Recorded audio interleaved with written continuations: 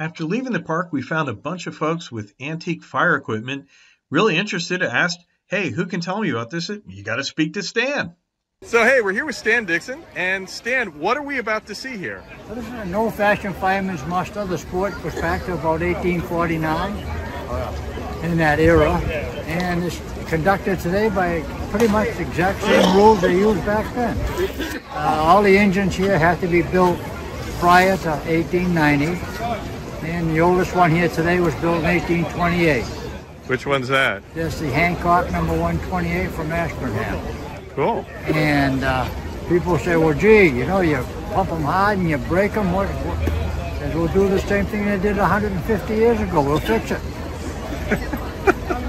My name is Dan Stomberg. I'm, uh, I'm from uh, Warwick, Rhode Island. I'm the, I am the, uh, the official timekeeper for the New England States Veterans Firemen's League. This is the uh, this is a league muster. Uh, many of these hand tubs are from uh, mid to late 1800s, late 19th century. all of them are built to spec as they were back then.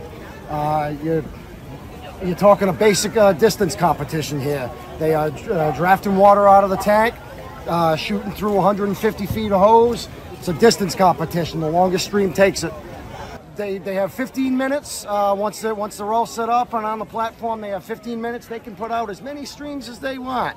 Say all it is is a uh, a, a, distance competition. So that's uh, that's about the extent of it. So right behind Dan was this sign, "Pump at your own risk," and we didn't think much of it until you know this guy comes and corrals me, and then well, this happened.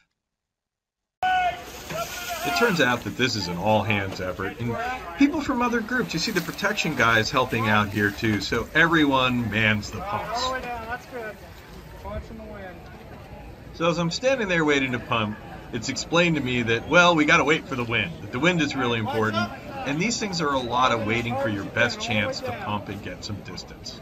Take it! Go the way down! Come on, there you go! Keep going!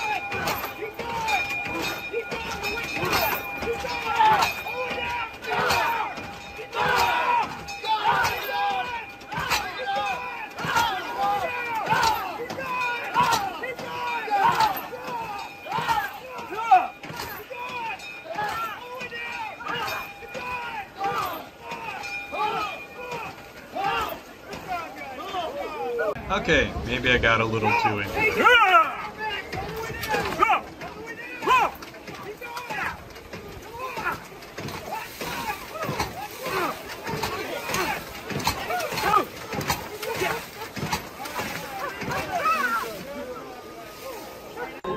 After Victor's 15 minutes was up, protection moved in, and I got to step back and get a sense of what was going on.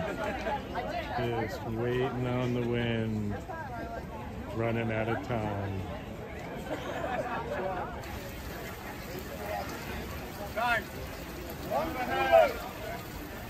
Time is running out for protection to get a good wind.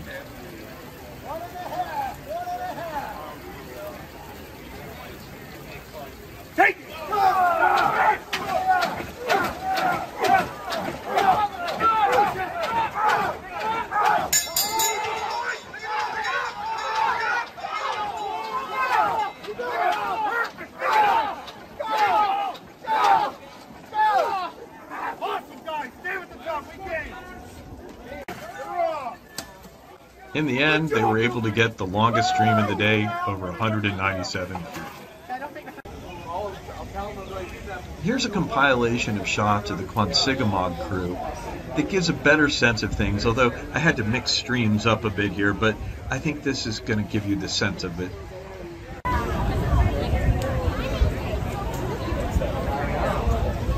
The crew stands by waiting for the wind watching the flags, waiting for the crawl, flags up.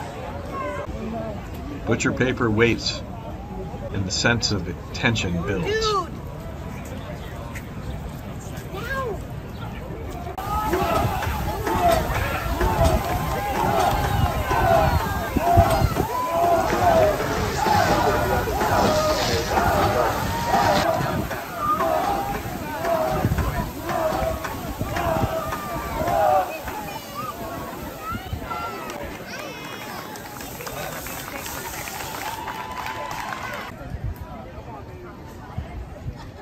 As time runs down, you've got to respect the concentration of the crew member on top of the tub. Three, three minutes.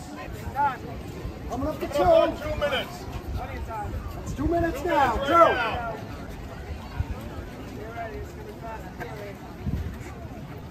One and three quarters.